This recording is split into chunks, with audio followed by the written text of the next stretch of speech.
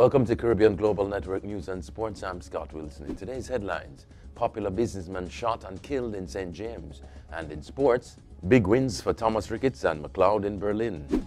Tributes pour in for Dr. Ken Baugh. The tributes have been pouring in for former Member of Parliament for West St. Catherine, Dr. Kenneth Baugh, who died Sunday morning following a long illness. Baugh, who was also a cabinet minister in two Jamaica Labour Party administrations, retired from representational politics in 2016 due to ill health. Prime Minister Andrew Holness, in a statement, said, as a physician, Baugh was always motivated to heal and care, saying it was a perspective based on his love for humanity, which he also brought to political service. Holness described him as a kind and caring person.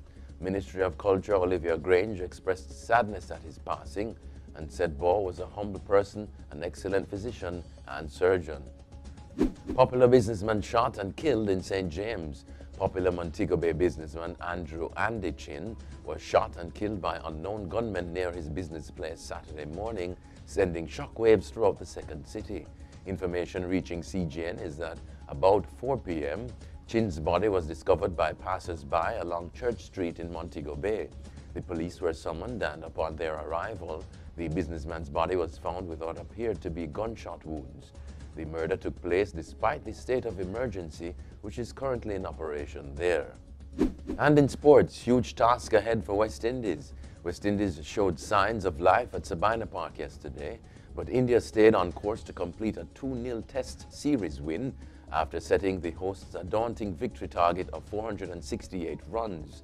After wrapping up the Windies' first innings for 117, India had the hosts at 45 for 2 at stumps in their second innings, still needing another 423 runs to win with 8 wickets in hand. The visitors, who had a 299-run first innings lead, declared their second innings on 168 for 4 with Ajinkya Rahane and Hanuma Vihari both getting half centuries.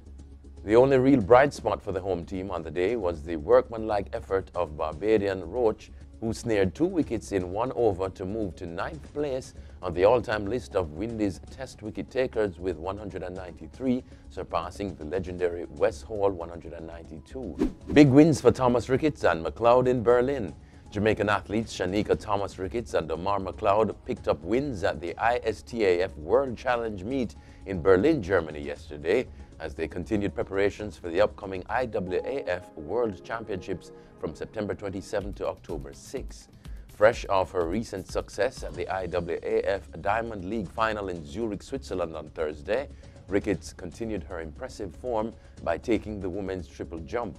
Competing in a negative 1.8 meter per second wind, Ricketts hopped, stepped, and jumped her way to a winning distance of 14.63 meters for her win as Patricia Mamona of Portugal took second with 14.18 meters.